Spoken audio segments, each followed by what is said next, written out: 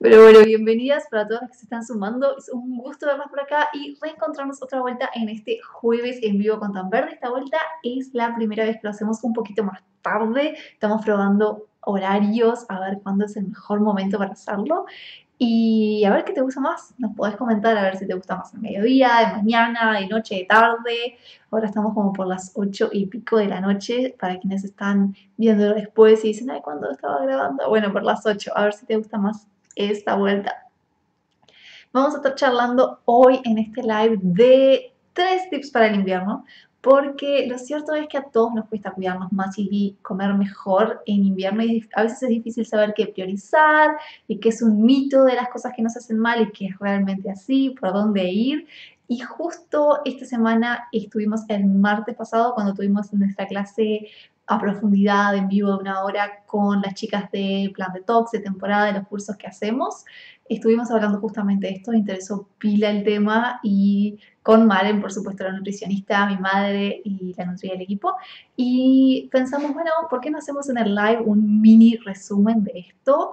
Y charlamos de las tres claves del invierno que está bueno que tengas en cuenta y pruebes esta temporada porque te cambian, te ayudan a mantener tu figura, incluso a bajar de peso si es lo que estás buscando, a cuidar tu digestión, a que el tránsito siga como esté, siga todo bien y por supuesto mantener bien altas las defensas, que es tan importante ahora y todos nos estamos preocupando un poquito a ver cómo hacemos para mantenernos súper bien con esta ola de frío.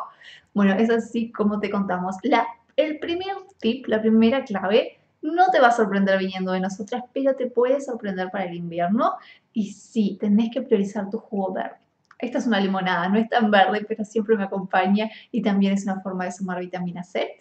Pero en particular para el invierno te proponemos mantener el jugo verde. Por acá tenemos algunos tips de Maren, pero básicamente lo que nos cuenta es que siempre te va a estar tirando para arriba las defensas y también te va a estar hidratando, que el solo hecho de estar más hidratada en el invierno es una protección contra especialmente gripes y todos esos tipos de bichitos que nos podemos estar contagiando en esta época. Así que por más que te suene un poquito raro esto de tomar jugo verde en los días más fríos, priorizarlo como un tema de salud, realmente. Si no es lo que más te llama naturalmente, decir, bueno, esto lo hago por mí, lo hago para, por mi cuerpo, para estar bien, además de para bajar de peso, deshincharme o tener el tránsito súper bien, especialmente lo hago por mis defensas en esta época del año que puede parecer contraintuitivo, es cuando más lo necesito y mejor me viene empezar el día con un buen vaso, una buena botellita de jugo verde de mucha hidratación, de mucho líquido, del mejor, mejor tipo. Acordate, tienes un montón de clorofila ahí, tenés un montón de vitamina C de una y todo otro tipo de nutrientes y sustancias benéficas que te hacen súper, súper bien. Así que dejarlo a temperatura ambiente capaz, hacerlo en el momento que lo vas a tomar para no tener que tomarlo frío de la heladera. Vos buscale tu vuelta, pero acordate de que es importante y en invierno vale la pena, incluso más que en verano. Así que vamos con el jugo verde.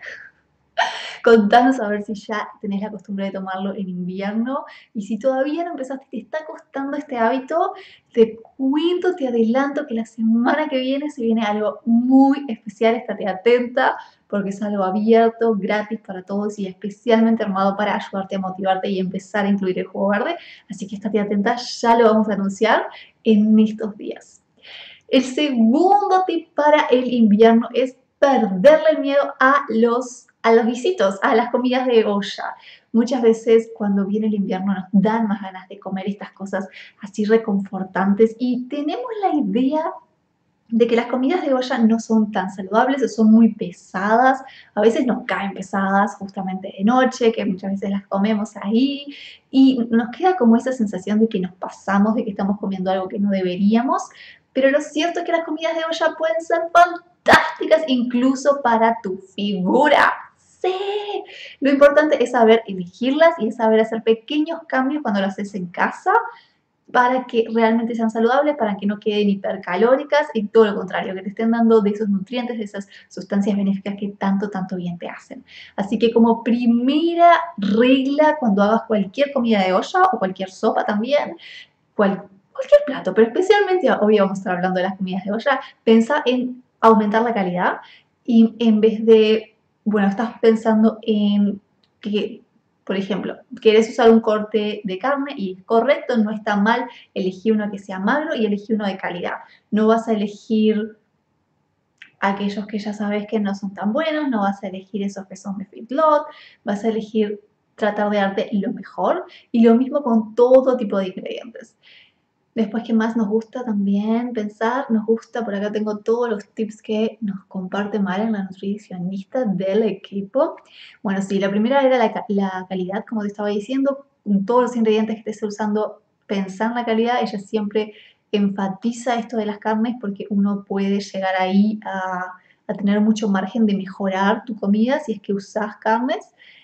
Específicamente si podés dejar afuera los embutidos, buenísimo por ahí también está el tema de variar. Cuando haces una comida de olla y sabes que siempre estás cayendo las lentejas. Y está buenísima, las lentejas son súper sanas y son divinas, pero capaz que es lo único que usas cuando pensás en un guisito.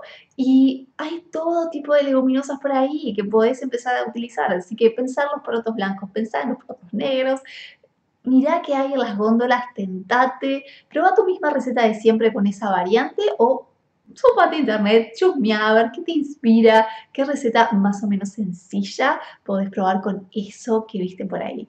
Ahora están muy de moda también los porotos Mung, que, están muy, que son muy, muy ricos. Y cada uno tiene sus favoritos. Capaz que decís hace tres años que no como esto, aquello, garbanzos. Y bueno, esta es, este es tu desafío, comerlos ahora, aprovecharlos este invierno, vale la pena. Y qué más, qué más tenemos por acá. También dentro de lo que es variedad, varía las verduras.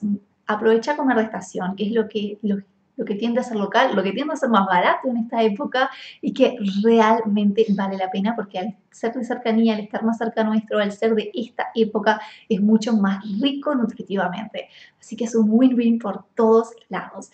Y en esto específicamente de las verduras, acuérdate que siempre que puedas meter verduras de hoja verde, estás diluyendo las calorías de tu plato, de, bueno, de tu guiso, y eso viene muy, muy bien. ¿Qué más tenemos que poner por ahí? También podés animarte a sumar superalimentos, en algunos queda muy bien la cúrcuma, el jengibre y por supuesto también hay que acordarnos que el brócoli, el coliflor también son superalimentos, no son solamente los polvitos mágicos. Va muy de la mano con la variedad, todo lo que es animarte a sumar superalimentos, así que probalos. Y por último, el otro tip de Maren que siempre, siempre está dando y que está muy bueno porque es súper fácil es sumar dos cucharadas esto es clave, dos cucharadas, que sea una buena cantidad de perejil o cebollino por arriba de tus guisos. Este toque verde aumenta muchísimo los beneficios. Específicamente el perejil tiene mucha vitamina C y también va a mejorar la absorción, de, absorción del hierro si es que estás usando lentejas, por ejemplo, o si es que estás usando alguna carne en tu guiso, vas a estar absorbiendo mejor el hierro y eso siempre viene bien. Y hay algunos tips más, hay algunos tips de qué dejar afuera. Entonces ya hablamos de dejar afuera las carnes gordas, ya hablamos de dejar afuera los embutidos y también queremos empezar a dejar afuera lo que son los fideos o el arroz blanco. Cambiarlo por otro tipo de cereal o pseudo cereal como la quinoa, como el mijo o si estás súper detada y querés usar fideos que sean de grano duro, así tenés, son de mejor calidad y son de más fácil digestión. También lo que está bueno experimentar en esto es reducir un poco la cantidad de lo que usarías en general para, para no pasarte y darle oportunidad a la variedad como veníamos hablando. Y dos cositas más entonces para dejar afuera. Por un lado, minimizar las grasas aceites o enfócate en la calidad, como veníamos hablando. Ahí es mejor que uses siempre un aceite de toleico, un aceite de oliva, un aceite de coco. No caigas en otro tipo de aceites que realmente no valen la pena. Y la otra gran cosa que vale la pena dejar afuera o al menos minimizar es la sal. Vale la pena experimentar con los condimentos, experimentar con las hierbas, darle sabor desde otro lado. Proponete ese desafío, proponete minimizar, porque estamos todos consumiendo demasiada sal, eso te hace retener líquido y te juega en contra por todos lados. Es maravilloso el cambio que uno siente cuando empieza a usar menos sal o si te animas a dejarla fuera completamente, es todo un desafío porque está en cosas que uno no se imagina, desde el pan, el queso, cosas de la diaria, pero cualquier persona que tenga un, familiar o un ser querido que sea hipertenso, capaz que si vos misma lo sos, sabes que no es tan fácil dejar la sal afuera, no es solamente la sal agregada que uno pone por arribita, pero minimizar viene muy bien. Así que arriba con eso que ya va a mejorar un montón tus comidas de olla. Acuérdate entonces, busca calidad, Trata de dejar afuera los embutidos, los fideos y el arroz blanco. Trata de dejar afuera las grasas y aceites malos y dejar afuera la sal. Y para priorizar, entonces prioriza la calidad, prioriza variar y prioriza intentar sumar superalimentos y poner esas dos cucharadas de perejil, cebollino u otras cositas frescas por arriba de tus platos.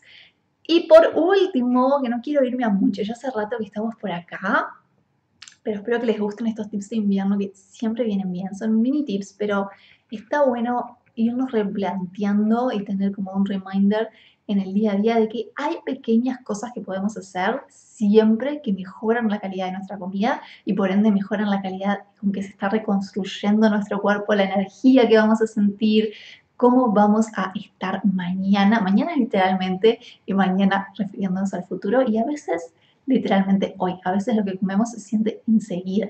No te viene ese bajón después de comer, estás mejor, estás de mejor humor, estás con más energía. Hay muchas cosas que se sienten enseguida, especialmente con el jugo verde que fue nuestro primer tip. Pero bueno, vamos al último entonces. Y el último que te recomendamos es especialmente cuidar los superalimentos que hacen bien a tus defensas, Así que sí, los mencionamos para los guisos, pero ahora queremos mencionarlos para tu vida. Intenta sumar estos cinco que son nuestros favoritos para el invierno y son súper, súper fáciles de usar. La cúrcuma, el jengibre, el ajo, que te puede sorprender, pero está muy bueno, el brócoli y hay uno más que me estoy olvidando, a ver cuál era, qué pobrecito quedó afuera, la espirulina, la espirulina tenía que estar, por supuesto, porque es una forma de priorizar la clorofila que estás consumiendo.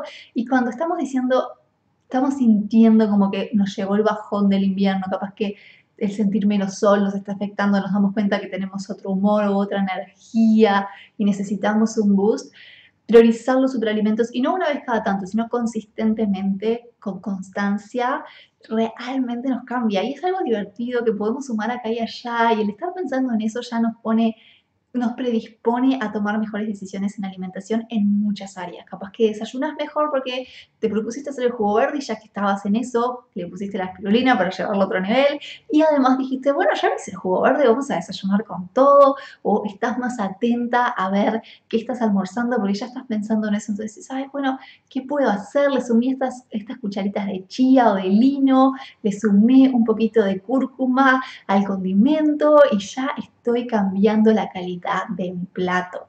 Realmente sumar pequeñas cositas vale la pena. No tenés por qué hacer un cambio gigante ahora ya.